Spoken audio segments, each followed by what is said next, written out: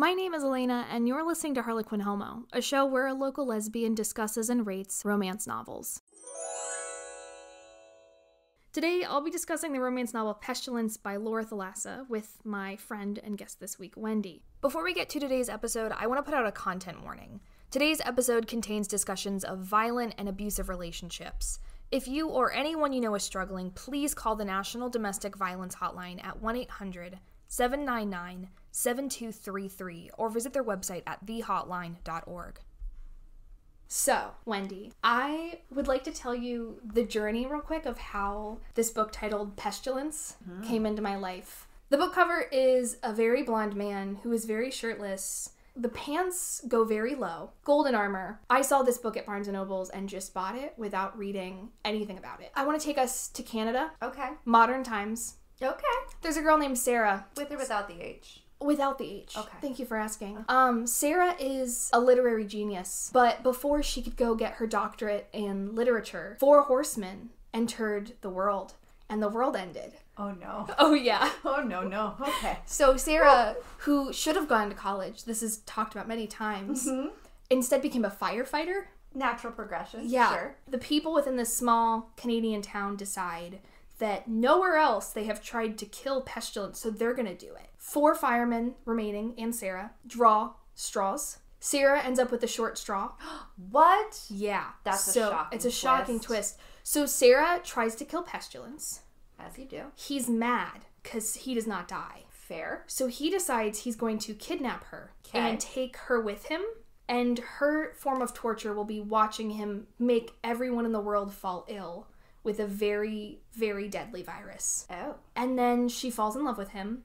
And then, I, I feel like we're skipping a bit. oh no, it's literally while he's making people die, she falls in love with him because she finds out he doesn't want, he doesn't like this. He doesn't like that this is who he is. Even though he tells her he has a choice to not do it, okay. some point they start banging and then after that a little bit she basically is like you can make a choice because we're banging now and he's like you're right i think we can live together and then he stops making people sick after the book mentions he murders millions of people Oh, okay. across the globe, wipes Okay. out Ontario in its entirety. Um, but he's protective of her. So she finds that redeeming, and then the book ends, and you find out they've had kids together. And that's this book. Um. Immediate thought. Yeah. Obviously, she has at least four STIs, right? Probably. Because if you're banging pestilence, yeah, I feel like you're at least walking away with one or more trips to the women's yeah. clinic. A hundred percent. Yikers. So here here is where this book struck me as odd. Because it was in the romance section at Barnes and Nobles. That's all you So that's all I need. Yeah. So I know this is supposed to be a And romance you book. looked at the cover. And I looked at the. co- It's obviously a romance novel. Mm-hmm. So what really struck me as odd was that in this first chapter of this novel, she murders the man who she is going to eventually fall in love with. The book describes in great detail. She shoots off half of his face, and then she burns him while he's still conscious. This is the first chapter. This is the first chapter. So okay, so we just dive straight We into short straight into straw. yeah. She's she is like they're ready to kill him. Why is it the firefighters? I don't. It doesn't really explain. It's just they were the last ones there. They decided that they were gonna do it, but like only one of them, Okay. because they assumed the one of them would die if they failed, and then the rest of them were like off hiding. I, I'm not gonna. Yeah. I'm not gonna backseat drive their plan here. I but I see some of the flaws. yeah. Already. Yeah. I definitely had a moment. Okay. And- so she she shoots half of his face off. It describes like his nose is missing, and then she, she notices he's still breathing. He asks her. He begs her for mercy multiple times. She douses him in kerosene and lights him on fire. Which at that point, I would also be a little upset. Like I, if Yeah. yeah. So and then he he brings up a really good point when he you know because he like heals very quickly. Uh, and he finds her like sleeping in a cabin and is like, I have he he literally has already wiped out like five or six towns at this point. sure. And he's like, Did you not think that other people tried to kill me? Which is just, I just want to know, you It's know? Like, did you not think of, did she think that she was gonna be the one? And has she like like I know she didn't go to college and that's very important to the narrative. Yeah, absolutely. But one would think she would at least be vaguely familiar with dystopian future stories, Yeah. apocalyptic Right. tales, the need to really, really confirm the big baddie yeah. is dead Uh-huh. before you go nap in a cabin in the woods by yourself in, I'm assuming, remote Canada. Yeah, this is like really remote. So this is an enemies to lovers. Mm, which, personally, love the trope. I love it. always fun. Usually contains some really sharp banter, Absolutely. some good tension, A hundred percent. nice like yearning, but I hate Yeah. that I'm yearning. Yeah. This sounds like she murdered him Mm-hmm. very violently in a pretty cruel way. A horrible way to die. Like not not a mercy killing no. that she went with and then he responds to that as one might imagine with a bit of vitriol but definitely dials it up to 11 what with the mass murder of millions of people Yeah. And forcing her to watch so honestly through this i'm a bit concerned about her Yeah. So that that just kind of brings me to I want to read you a, a little bit. This is chapter 6. The chapters are very short. So here's the thing. When he first kidnaps her, he decides that she will not be riding on the horse with him. Um so they've literal horses They've literal, so he has a horse. Okay. But right now he's pretty mad because she burned him alive. Yeah. You know, and I would, yeah. it makes me cranky We get to this really awesome point where he has tied her to his horse and is making her run behind him. An excerpt from Pestilence by Laura Thalassa. The horse jerks against my weight, and I let out a scream as my arms are violently jerked nearly out of their sockets. The rope digs into the flesh of my wrists, and I shriek again at the blinding pain. I have to lift my head as my body drags along behind the horse to prevent it from getting injured. Yesterday's snow has mostly melted away, and the bare asphalt now acts like sandpaper against my back. I can almost feel the layers of my thick coat disintegrating under the force of it. Once it goes, I don't know how long a human can last like this. And then she doesn't get the chance to find out because he stops her after dragging her a good distance like this. So there's something distinctly uncomfortable about the fact that she's using that she's using such very sexual language to describe violence. Yeah. And it- there's always that line there and there are often ways to I think responsibly Absolutely. navigate that and recognize that there can be overlap. But it's not foreplay, um, torturing Yeah. someone. Like, that's not a, ooh, I'm building tension. Well, and I think it makes me so distinctly upset, but also uncomfortable because I'm a I'm a big fan of Katee Roberts, who has mm-hmm. written Electric Idols and Sabine Valley is a series I'm reading right now. But she writes a lot of BDSM mm-hmm. and is so careful with how she writes it in a way that is so responsible. It doesn't at any point get to a point where I'm uncomfortable as a reader. So I think the idea that like, yeah, it's understandable that violence may move into sex. Yes, but not in a way that I'm conditioning you. Yeah, exactly. It's built from consent from mm-hmm. the start, which is the critical piece of all things related to BDSM and what the community actually is about. So this isn't that. No.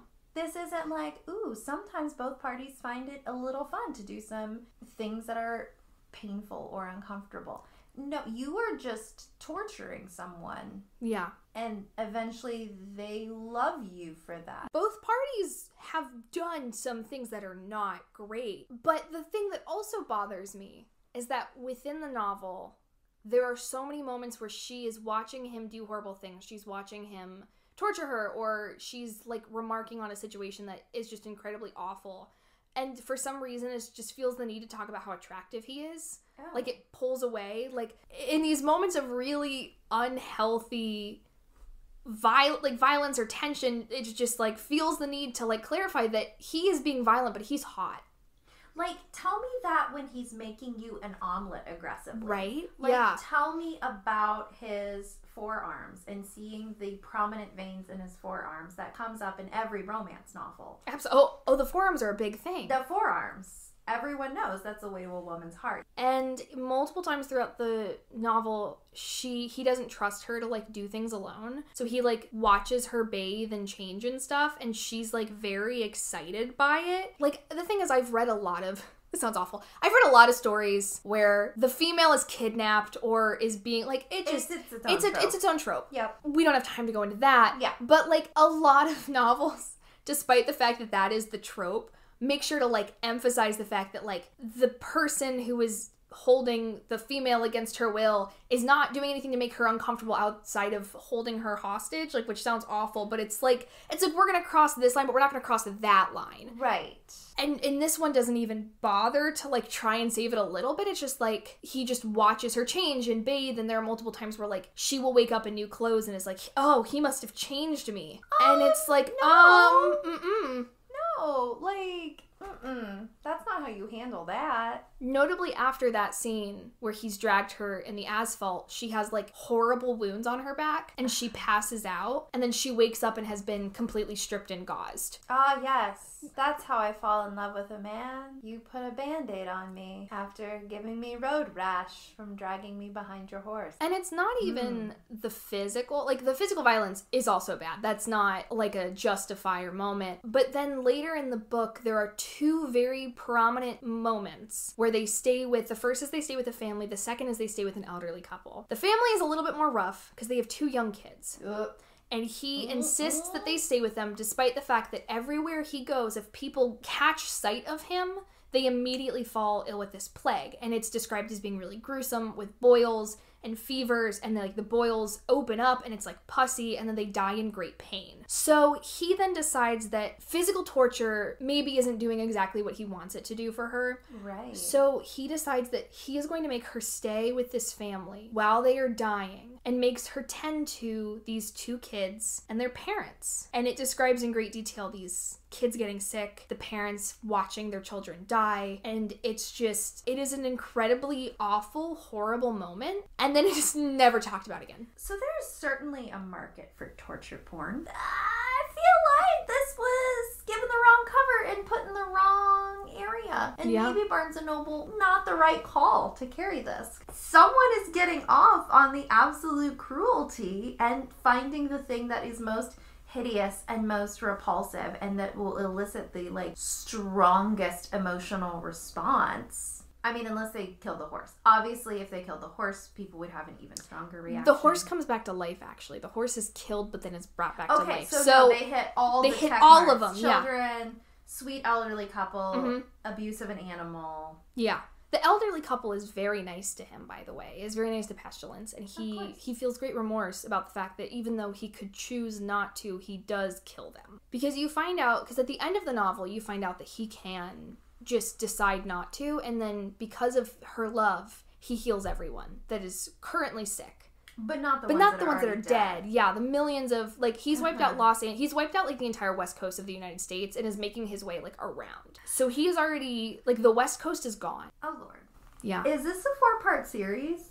It is. Of course. Yeah, so because, you know, this is only the four, the first horseman, I will not be reading the other three. Really, that is truly shocking to me. I know. I honestly, this book upset me so much. And you powered through to the end. And I pow- well, I think I powered through to the end because I had this moment of like weird hope that maybe he would die. like and like it would be I redeemed in that way. romance novel with the greatest hope that the main character would die. At that point, it got, I was just like, yeah, I'm gonna, maybe this'll get better. And then it did not. Part of this book shocked me because I'm, I'm used to reading romance novels that are bad. And I'm mm-hmm. used to stopping in the middle of a book because it, it's just bad. Like, it's just not even worth finishing. Mm-hmm. What was different is this book made me so uniquely uncomfortable. And upset in a way that I have not been made upset from other romance novels. Mm-hmm. Like there are there are moments in books where I'm like that was sexist or that wasn't great. Cringing. Cringing, There are things yeah. You cringe over. There are things you're like, I'm just going to pretend that I didn't read that part Right. and keep on going. But this, no matter what I did, even with that hope, it just kept getting worse. And even the parts where we're supposed to be seeing character development from him and acceptance and love, and it just was all drowned out by the fact that I knew that all of this horrible stuff had happened and was still happening. It's it's not another trope being, you know, morally gray. Mm-hmm. Male protagonist in particular, like morally gray love interests. We love that, especially in an enemies to lovers story. Oh, absolutely. Yes, give me a guy that is problematic. But that's the key thing. It- he's problematic, but he's not irredeemable. Mass murder Is pretty irredeemable. the whole like character arc is that he thought mankind was irredeemable. The point is that she is supposed to show him with her love that mankind is not irredeemable. Okay, the thing that worked about Beauty and the Beast is that he was a spoiled brat who was throwing tantrum, not that he was intentionally wiping out large swaths of people and torturing Belle for funsies. I, I see you trying to live in that space, author. Um, but that's not that's not how you do that. No. And it's not fun or just like, ooh, I'm taking this to an edgier place. No. No, you're taking it to an irresponsible place. And I Because I could even get behind the idea of he can't control it sure. and her love for him and forgiveness of him, some Yeah, if if he can't control theme, it, that changes Yeah. his power that now he is able to control it. amazing. okay, that's better. Yeah. Uh, it's manslaughter. It's still yeah, manslaughter, Now, you know. um, but I guess. it's still easier to stomach than he could stop it. He could at any moment decide not to and just chooses not to. Like the the book makes that abundantly clear that he has so much free will in this and just chooses not to until the literal last moment. like who audience? Who are you writing for? Is it is it someone who's going to get off on this because That's Lord knows they're they're going to Sure. some therapy, or is it ugh, someone who's more vulnerable to this message? Because I don't like that either. And I think that's my fear is like I understand, I guess, if you absolutely feel the need to write some form of this plot, but you but maybe don't do it in a way that promotes violence. There is so much violence in this couple Mm-hmm. together. Mm-hmm. And that's not a good message for anyone. That it's okay if you physically harm your partner it, on and either when side. was this published? So this book was published. It was 2018. Okay, because here's the thing. We also are living in a post pandemic world. Not that it's over, but we, as a readership, as a world, just watched countless people die from a plague. Yeah. And I think it's absolutely going to read very different to a 2022 reader versus a 2018 19 reader. Absolutely. So, looking at it through the lens that we have to look at now, we literally just saw this happen in real life. So, the idea of making it okay that she, Sarah, without the H, became desensitized to watching this mass horrifying death, that's not okay either. No. Because while it, to a certain extent, is what happened, and at a certain point, you know, the the death toll that came from this event became numbers that were so high they became almost unfathomable to actually internalize. Yeah. But to pretend like, no, it's good that you watched all this happen and you can still find love and forgiveness and bangability from the man who caused it all. That's not okay. And it also makes me think of the fact that in a post pandemic world, we also know that during quarantine, domestic violence calls were up. There was a mm-hmm. lot of issues with people being trapped in situations that they may not have been trapped in otherwise because of lockdowns and quarantine and everything. So Absolutely. now looking at it through that lens and understanding that like there are multiple parts of this i want to be really clear this book was wrong before the COVID pandemic. Correct. But Correct. it's it's extra wrong now. Yeah. And it's just so baffling to me that and it feels almost irresponsible to Mm-hmm. write a book like this that desensitizes violence overall and desensitizes any kind of abuse because it it is very truthfully an abusive relationship in every aspect from Yes. from both parties. Yes. Like there is nothing about this that is like one side was just super innocent. It's a really abusive relationship. And it makes it seem like that's okay as long as at the end of the day everyone's really sorry. And even then, are they? Like, are they that sorry? Because it, it I don't know how you prove you're that sorry, but I don't think what one would expect. Like, if you're really, really sorry and you truly understood the damage you caused, don't think you should be able to live with yourself. Not like this. And Not in a way that's like, well, I can ride off into the sunset and I'm okay because, gosh golly, I feel so bad. And maybe it's just me, but the idea of being with someone who made me watch children die in front of me, that for like that is just so horrible. Like I can't even imagine. Like I, I can't even like think about it. But it's just so crazy that that this author felt like that was something that we could just get past. Yeah, because at the end of the day, you don't write a romance novel in the way that you would write other fiction, where you can loathe the protagonist of the story, or you can have very bad people that you still want to succeed, even though you know they're very bad people. Yeah. That's not how romance novels work. No, you need to like both of them at least a little bit in order Right. to f- find any happiness in the ending. And I didn't like either of them Hmm. at all. And I think honestly, part of the reason why I hated Sarah so much by the end was because, like, yeah, she murdered someone. Not great.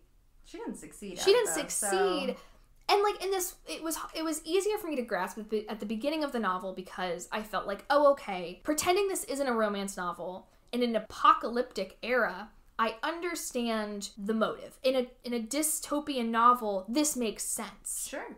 It does not make sense if this is a romance novel and you are going to be banging this person in 10 chapters. Which takes about 14 pages. Yeah. Judging by the way this plot progresses. You know, a standard size. What Yeah. that's 350 pages. yeah. So I hate that I can eyeball that, but I'm really impressed. okay. So that's a pretty standard length. You don't really have to dive straight into the murder. No, but Um, but torture, she but- did.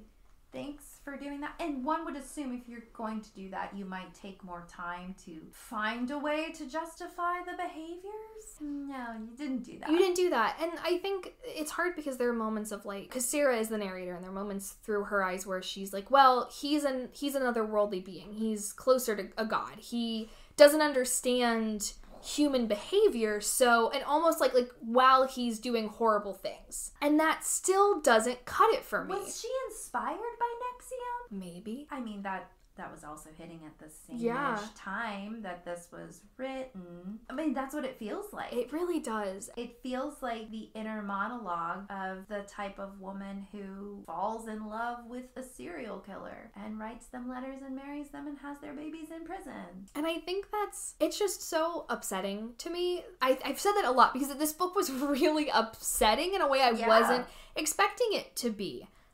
I just in it for the I just I saw a shirtless guy on the cover and I was like amazing. And this then will be a journey. this is gonna be so exciting. And then I was so sad by the time I finished this book. Like I was I I vented on Goodreads and that still wasn't enough. So I had to do a whole thing about it. But I think just looking at it, like I I think also it's frustrating for me because I have women in my life who have experienced violence in relationships. Mm-hmm. And hearing from them like how hard it was to leave those relationships mm-hmm. and that toxic behavior. But to a certain extent it was really hard to leave because a lot of behavior has just been normalized in relationships like in toxic relationships regardless of who's the abusive one. Like to a certain extent we just kind of accept it and we promote certain aspects of toxic relationships like they're not super problematic. So Right. Just reading this was so jarring because this is not the kind of behavior we should be promoting like as women or as anyone. Like No, and it's something that most of the time, most of your female protagonists in these stories are the ones that are calling out that behavior, are shining a light on. And even though they lean sometimes into the like pick me girl space, it's the person who's saying, No, I'm different. I'm not like those other girls because I see this behavior is wrong. Like, we love us a rebel. We We, love our Lin- Lizzie Bennet. Are they annoying in real life? Absolutely. Yes. But in the novel, it's really important. And it's important because that is a huge part of Pride and Prejudice is that we understand that Darcy is a socially awkward human being and that he has faults and Lizzie has faults. And they, at a moment, come together and realize that they're both flawed human beings who have maybe not, like, done what was the best choice in any given situation. But then there's like a forgiveness and a moving on together mm-hmm. and in a way that just is not happening in this novel because Right. there's no redemption really at all. And really, I mean, Pride and Prejudice is the one we hold up. That is our enemies to lovers template. Yeah. That that is kind of what everything else builds off of in some respect. Because it is such an influential book to the romance book community. Absolutely. Even those who don't love it are still like, yeah, Yeah, it's it, it holds its weight. That's just not my trope. It's- he apologizes. that's such a huge moment and and changes in demonstrable ways that benefits her without benefiting himself. exactly. And he didn't like murder all of Devonshire. No, he so did that's not. a big It's plus. such a big deal that he didn't murder Like- a lot of people. Wipe out all of Ireland. One of my favorite enemies to lovers is, and I'm forgetting the name of the Bridgerton book, but it's the second Bridgerton book. It's Anthony and Kate's story, Yes. and it is such a wonderful, wonderful two. book. I love it. But the book is is very different from the, the TV show, but it is such a great enemies to lovers, and the author stays pretty true to like Regency era attitudes. So there are moments throughout that novel where where Anthony is misogynistic, and it's a big deal because Kate in the book is like that's not gonna work and that's like a big deal is that regardless of the fact that it's a book that's held in the regency era we're not just like accepting that he can be misogynistic and force her to do anything he wants because he's her husband now and that's like a big deal Yeah. and like there are ways to do this trope. There are ways to have your male character be problematic. There are ways to have your female character be problematic Mhm. and then work it out. They don't work it out. no. There's no working out. No. And it's it seems to glorify in a way this awful violence, both domestic and external violence. Yeah, it's a it's a really violent book. And this is just American desensitized to violence, but like that kind of violence isn't shocking to me on its own Sure. because you went to public school. I went to public school. I've read dystopian novels. I've read The Walking Dead comic books. Like, I have seen and read some gross stuff. Yeah. But the violence is never tied into the romance and the, like, erotic nature of this mm-hmm. coupling. And it bothers me so much because there is so many parts of this book where the violence leads into them banging and it just is so awful or they're banging in a house where an elderly couple is dying and has boils on their skin Oh, that's so gross. it's really gross No. yeah Ugh. yeah Ugh. this idea of like violence being perpetuated isn't like a rare thing Um, like not at all. According to the National Network to End Domestic Violence, and this is like a statistic I've seen a lot, but more than one in four women have experienced rape, physical violence, and or stalking by an intimate partner in their lifetime. Yeah. To be really clear, that's by an intimate partner. That's not like this isn't statistics of people from random attacks. These are partners. These are romantic or sexual partners that are inflicting this violence. And that statistic is probably low based on the fact that how many women have not reported it? right? Hmm. So At least. at least one in at four least women. one in four women. And I think it's just really upsetting because I don't. I want to be really clear. I am not saying that Laura, the author of this novel, Oh, can't Laura. write whatever she wants. Like, I don't believe in censorship. I'm not saying that this book shouldn't have been published. I think I'm more, I would more like to appeal to the idea that if you really feel the need to write a book like this, think about it in a responsible way Mm-hmm. and think about the fact that, like, wow, it is just a book. You still have an effect. You still have, people are still going to read this novel, and it's the Twilight phenomenon. When I was 14 and reading New Moon, I thought that Edward's super possessive behavior of Bella was really uh-huh. attractive, and I thought that was something I wanted in a partner. Right. And as an adult, I'm looking back at that, and that's horrifying Yeah. this is my fear is if I had picked up this novel at 13, 14, read it, I would have been like, oh, maybe this is romantic. Maybe this is mm-hmm. okay. And then, God forbid, someone entered into my life that was showing similar traits. I have just read a book that tells me it's absolutely okay mm-hmm. for my partner to be violent against me. As long as we like make amends at the end, that's fine. And no. No, it's absolutely no, not to okay. be clear, no. That's is not, okay. That is absolutely unacceptable behavior. And if you even want to throw a disclaimer on the front of your book of, hey, this is what this book contains. And that's, I mean, that's the whole responsibility and publishing aspect too, because while I agree with you, I don't like censorship per se. it doesn't mean we can't be responsible with how we're labeling things How and how we're talking. Yeah, and what we choose to publish. Because I Absolutely. think there is some degree of ownership and a responsibility of publishing to understand yeah, the impact of what they produce absolutely. and what is put out there. So, no, like if you are going to eroticize, I don't know if that's a word. I'm using it as well. Yeah, though. absolutely. If you were going to eroticize violent language and specifically cruel torture in a non consensual context, Yeah. yeah, you have to take accountability for that. And that's not okay. Like, you know that language has power. You're a writer, you're a publishing house.